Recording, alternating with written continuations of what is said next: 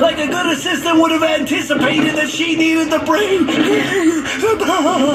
What am I saying?